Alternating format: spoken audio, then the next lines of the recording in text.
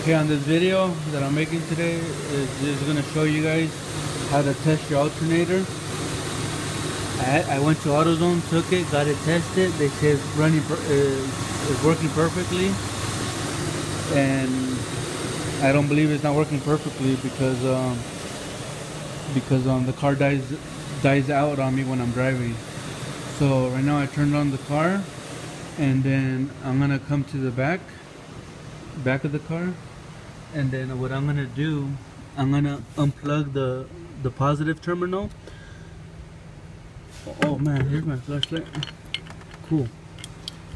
Um I'm gonna unplug the positive terminal. Oh not the positive. Here's the positive the negative. And if the car dies out that's an indication that um the the um the alternator is no good so let me do this. I'm not gonna i'm not gonna pause the video so you guys can see if the car turns off or not.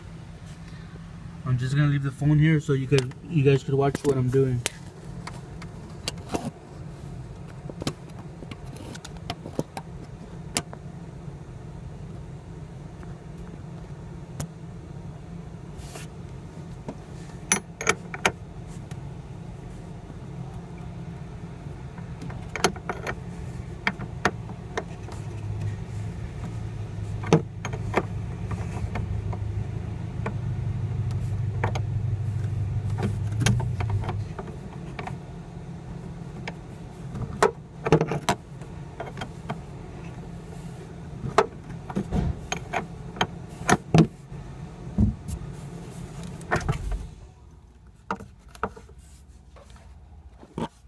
Okay. Okay, so that's how you test your alternator. I unplugged the I unplugged the positive or I unplugged the negative and then my car died out as you can see. My car's not running no more. And I'm pretty sure you guys were able to hear it in the background where once I unplugged the negative terminal um, my car died out. So that's how you test your alternator if it's working properly or not. Because I did take this alternator to AutoZone and test it and they said it passed.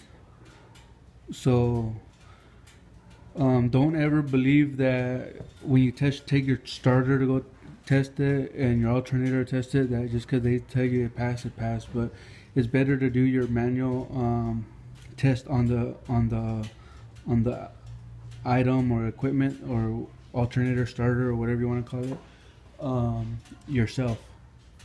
Like I did like I did right now because when um, if your alternator was working properly the pos the um, when you unplug the um, the what was it called? The um, negative terminal off the battery the car is supposed to still be running electricity.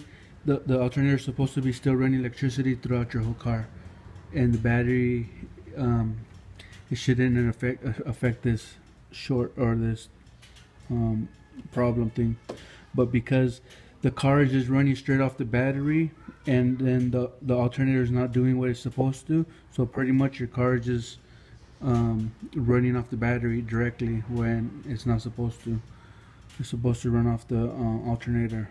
So if you guys could understand that a little or if not if you don't just hit me up with a message and I'll uh, try to help you clarify what I'm trying to say. But um, some, some people might not understand this because they don't have this problem. So, yeah. So simple um, thing. Unplug your positive or unplug your negative um, terminal and to test your alternator. If your car turns off, um, your alternator is no good. If your car stays on, your car your alternator is good. So plain and simple okay? And there's other tests you could do with a starter too. There's a lot of things you can do manually test it be before um, replacing it. So that's my problem right there. So thank you guys for watching and see you guys in the next video